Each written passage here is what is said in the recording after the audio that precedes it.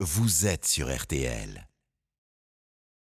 Voilà, Emmanuel Macron qui, reconnaissait euh, que c'était effectivement un défi, qu'il fallait que notre société s'adapte à ces épisodes de chaleur de plus en plus fréquents. Euh, oui, mais comment nous adapter? Les maires sont en première ligne et nous sommes avec Christophe Boucher, le maire radical de Tours. Bonjour. Bonjour. 18 écoles de votre commune sont fermées euh, aujourd'hui et demain. Ça représente à peu près une école publique sur trois. Est-ce qu'il y a à l'heure où on se parle une solution pour chaque enfant? Quasiment. Euh, je vais vous donner un chiffre. C'est 18 écoles, ça représente 2500 élèves. On a mis un numéro vert à disposition. Euh, on a quatre cas non résolus. Euh, donc de, de, de l'élève qu'on a mis dans d'autres écoles. Vous voyez, 4 sur 2500. Euh, les Tourangais et Tourangeaux ont bien répondu à notre appel. C'est-à-dire que dans les écoles qui sont ouvertes, les, on avait demandé à ne pas mettre les enfants.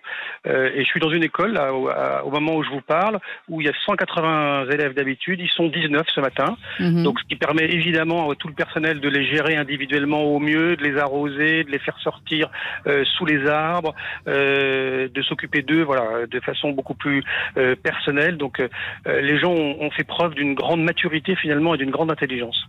Emmanuel Macron avertit que la société allait devoir s'adapter et, changer son organisation. ces vagues de chaleur vont se répéter, on le sait.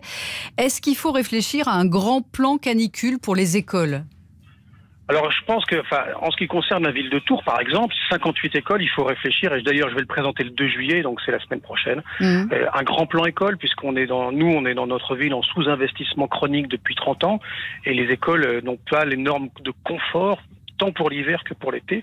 Euh, sur le plan thermique, alors sur le plan numérique, bon, c'est autre chose, mais sur le plan thermique, et il faut aussi reconstruire beaucoup d'écoles qui ont été reconstruites dans des modes constructifs dans les années 50 euh, ou 60 et qui, qui véritablement sont des, ce qu'on appelle euh, aujourd'hui les passoires thermiques, mmh. mais qui en sont vraiment où on a des écoles, nous, malheureusement, où il fait des fois 12, 13, 14 degrés d'hiver, mmh. et, et l'été, il fait extrêmement chaud. Alors pour cela, il va falloir aussi que on construise moins cher.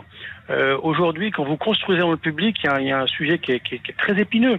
Euh, quand vous construisez dans le privé, euh, ça vous coûte moins cher que dans le public, parce que dans le public, il y a beaucoup plus euh, de règles, ce qui, est, ce qui, peut paraître logique. Mais en même temps, aujourd'hui, dans le public, on construit 20, 30, 40% plus cher des fois. Mmh. Euh, donc, euh, pour les budgets de les villes, des villes qui sont en baisse, c'est impossible à supporter. Nous, on mmh. va annoncer un grand plan. Euh, qui va résoudre un tiers des écoles euh, sur 10 ans, mais malheureusement. Et ça va vous coûter combien sur une ville comme la vôtre? Sur une ville comme la nôtre, l'investissement nécessaire qu'il faudrait faire, c'est 300 millions d'euros. Or, euh, notre budget annuel, c'est 200 millions d'euros. Et là, je vais annoncer un plan qui sera de l'ordre de un peu plus de 100 millions d'euros. Mhm. Euh, il y a des syndicats enseignants euh, qui abondent aussi dans le sens de la FCPE des parents, qui font état de nombreuses écoles équipées de, baies vitrées, sans voler, sans store. Est-ce que c'est encore vraiment souvent le cas chez vous à Tours?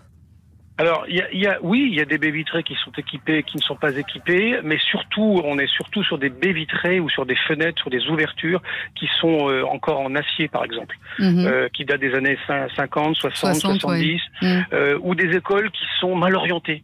Euh, ça, il y a encore beaucoup trop, trop d'écoles où, où, les grandes façades sont au sud. Bref, il y a des solutions. Hein, euh, les toits qui pourraient être végétalisés. On, on, a aujourd'hui beaucoup de solutions constructives, mhm. mais elles coûtent très cher. Euh, et quand ça passe dans le public, c'est toujours 20 à 30% plus cher pour différentes raisons qu'on n'a pas le temps de détailler là, mais que le gouvernement doit prendre en, compte. Parce que si on construit plus cher dans le public que dans le privé, euh, on n'arrivera jamais à, rénover complètement euh, les écoles. Est-ce qu'il faut aussi adapter les horaires des élèves, par exemple, faire démarrer la classe une heure avant? Alors bon, là, ça c'est pas la question des maires et la question des villes. Non, je sais, mais ça vous concerne Non, non, non, mais, mais, bien sûr, vous avez raison. Mais là, on s'aperçoit que le pic, c'est normal. Le zénith à cette heure-là est entre 14 et 16 heures. Mm. Euh, Est-ce qu'il faut l'été, le mois de juin, avoir des enfants dans des classes entre 14 et 16 heures? C'est une vraie question. Mm. Euh, c'est une vraie question qu'il faut se poser. On sait que d'autres pays le, font différemment. Euh, je crois qu'effectivement, il y a, y, a y a, une vraie réflexion. On voit bien que bon, le climat change maintenant. Tout le monde en est bien convaincu. Heureusement, finalement, ces épisodes de canicules ont au moins cet atout de faire comprendre à chacun mm. qu'on est dans une vraie détérioration du climat. Euh, mm-hmm. et donc il va falloir s'adapter tant l'hiver que l'été, mais il va falloir s'adapter assez vite. Merci beaucoup Christophe Boucher, euh, maire radical de Tours. Merci d'avoir été l'invité d'RTL Midi.